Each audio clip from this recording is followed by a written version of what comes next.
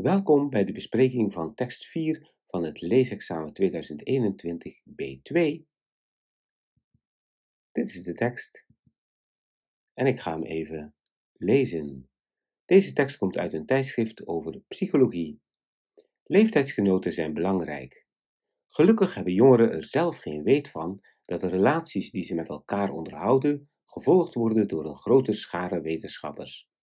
Zo weten we dat contact met leeftijdsgenoten bijdraagt aan de psychosociale ontwikkeling van kinderen en jongeren, aan het verwerven van cognitieve en emotionele vaardigheden en van communicatieve eigenschappen.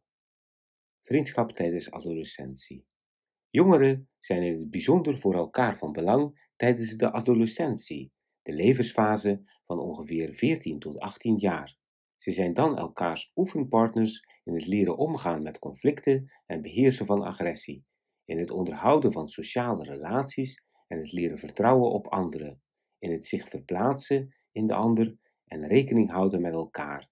Tijdens deze periode wordt de mogelijkheid tot verkenning als voorwaardelijk gezien voor de ontwikkeling van een stevige identiteit. Vanwege alle veranderingen die zich in korte tijd voordoen, zou deze periode onvermijdelijk crisisachtig van aard zijn. Jongeren zouden via conflicten en botsingen autonomie ten opzichte van hun ouders veroveren. Slaande duren en ruzies over tijden van thuiskomen of over schoolprestaties. En ook ruzies om niks. In dit losmakingsproces van thuis, het vinden van een eigen identiteit en bepalen van een richting voor de toekomst, zijn leeftijdsgenoten belangrijk. De werelden tussen ouders en leeftijdsgenoten raken van elkaar gescheiden.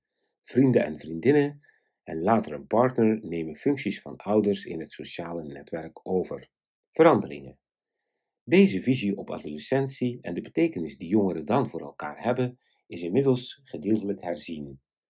Het crisiskarakter van deze periode lijkt voor de meeste jongeren mee te vallen, en het idee van één uniforme ontwikkeling naar volwassenheid is losgelaten. Er doen zich verschillen voor tussen jongens en meisjes en tussen jongeren van verschillende sociale en culturele achtergronden. Opgroeien is geen autonoom proces, maar vindt plaats in interactie met een maatschappelijke omgeving.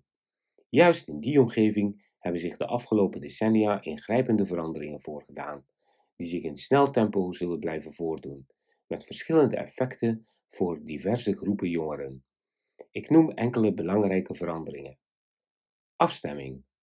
Allereerst is de jeugdfase door verlengde opleidingstrajecten langer geworden.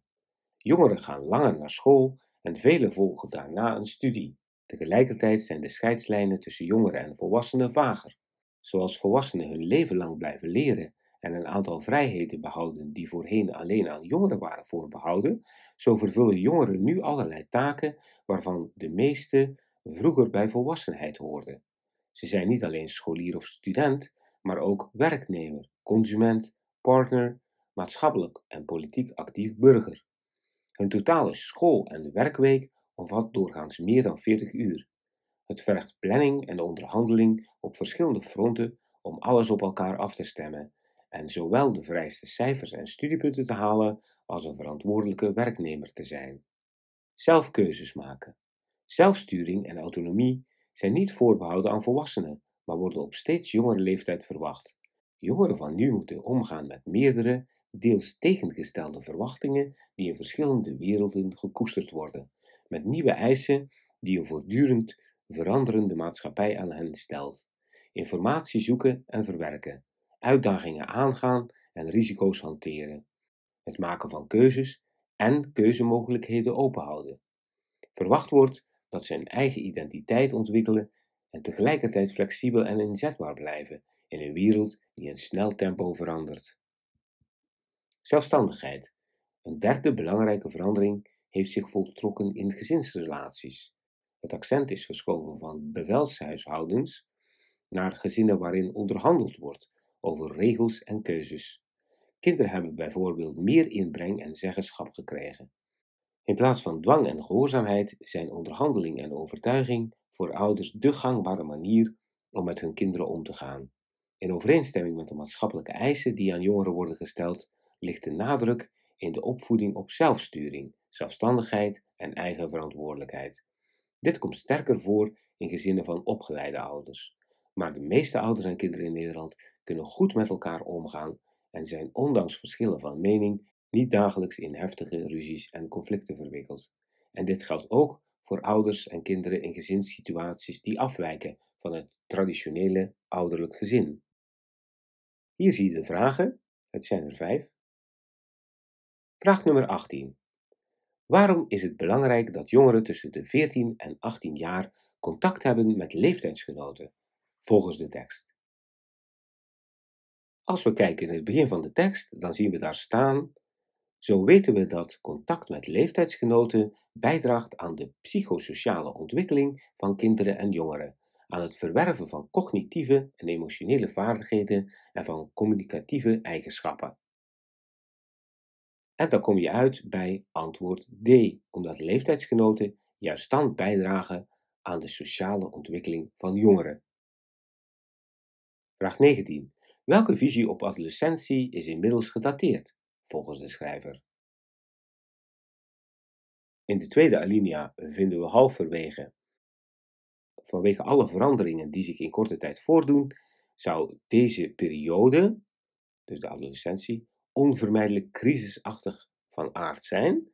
Maar in de volgende alinea wordt er terugverwijzend gezegd: deze visie op adolescentie en de betekenis die jongeren dan voor elkaar hebben, is inmiddels gedeeltelijk herzien. Het crisiskarakter van deze periode lijkt voor de meeste jongeren wel mee te vallen en er is geen uniforme ontwikkeling. Dus, dan kom je op B. Wat is gedateerd? Dat jongeren een problematische fase doorlopen waarin ze zich afscheiden van ouders.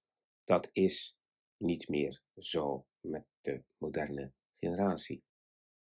20. Waarom worden de grenzen tussen jongeren en volwassenen vager volgens de tekst? A. Jongeren van nu vertonen meer volwassen gedrag dan vroeger. B. Jongeren van nu vervullen meer verschillende rollen dan vroeger. C. Jongeren van nu zitten aanzienlijk langer op school dan vroeger. We vinden daar onder het kopje afstemming. Zo vervullen jongeren nu allerlei taken waarvan de meeste vroeger bij volwassenheid hoorden. Ze zijn niet alleen scholier of student, maar ook werknemer, consument, partner, maatschappelijk en politiek actief burger, etc. Dus B. Jongeren van nu vervullen meer verschillende rollen dan vroeger. Vraag 21. Welke belangrijke verandering heeft er in gezinsrelaties plaatsgevonden volgens de tekst? Dat kun je vrij gemakkelijk vinden onder het kopje zelfstandigheid over de gezinsrelaties. Het accent is verschoven van bevelshuishoudens naar gezinnen waarin onderhandeld wordt over regels en keuzes. Kinderen hebben bijvoorbeeld meer inbreng en zeggenschap. Dus kinderen kunnen meer met ouders overleggen over plannen en regels. Antwoord B. Laatste vraag, 22. Welke conclusie trekt de schrijver aan het einde van de tekst? Is de wereld van nu veel complexer voor jongeren dan die van vroeger? Is het niet goed dat jongeren al zo jong zoveel keuzes moeten maken? Of hebben jongeren elkaar nodig om volwassen te kunnen worden? En helemaal op het einde in de laatste zin vinden we leeftijdsgenoten hebben steeds meer een centrale rol in de sociale netwerken van jongeren en in de ontwikkeling naar volwassenheid. Dus het was antwoord C. Jongeren hebben elkaar nodig om volwassen te kunnen worden. En dat was ook het thema van de tekst. Ik dank jullie wel en tot de volgende tekst.